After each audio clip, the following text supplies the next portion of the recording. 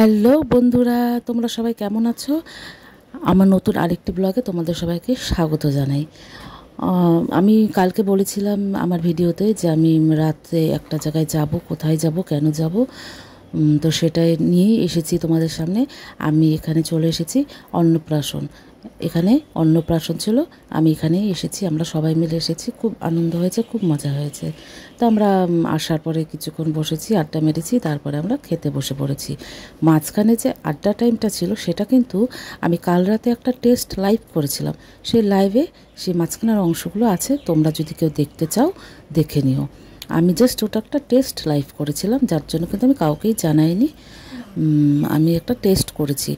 তো তোমরা যদি আমার লাইভ দেখতে চাও, অবশ্যই আমাকে কমেন্ট করে জানাবে। আমি কিন্তু তোমাদের জন্য টাইম বের করে অবশ্যই একদিন লাইভে আসব।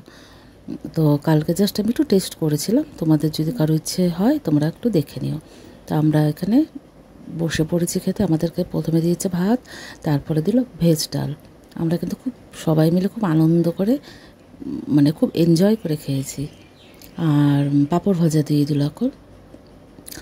আর মানে এত গরম ছিল মানে তার মধ্যে শাড়ি পরেছি, শাড়ি পরার অভ্যেস নেই আমার একদম।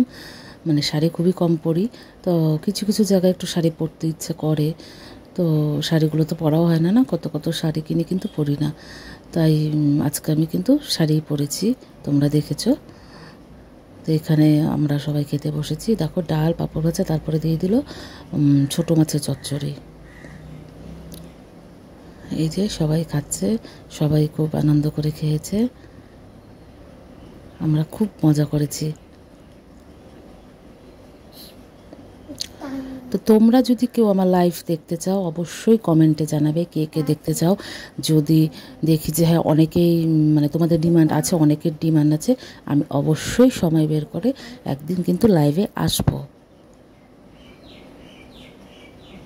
আর আমি কবে লাইভে আসব সেটা আমি আগের দিনের ভিডিওতে বলে দেব যে আমি কাল এতটা টাইমে আমি লাইভে আসব।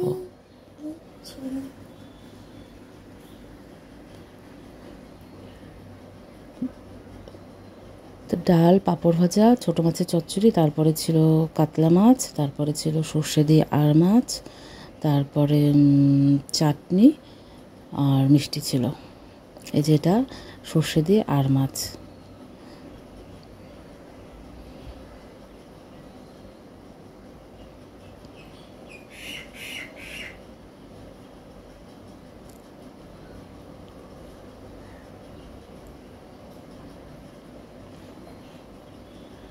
আমি পাঁপড়গুলো খাব না, তাই মেয়েদেরকে দিয়ে দিলাম। ওরা ভীষণ ভালোবাসে পাঁপড় খেতে।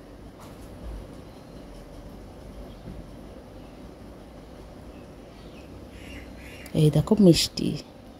দুটো লাল মিষ্টি, একটা সাদা মিষ্টি, লাল মিষ্টি আমি ভালোবাসি।